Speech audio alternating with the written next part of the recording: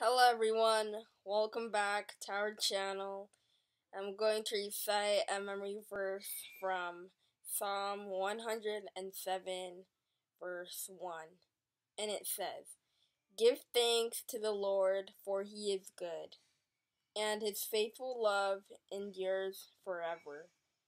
So the message for you today is we should always be praising God for what He has done to us in our lives.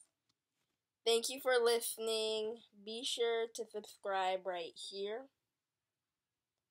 and watch more of our videos right here. And see you in our next video. God bless and have a happy day.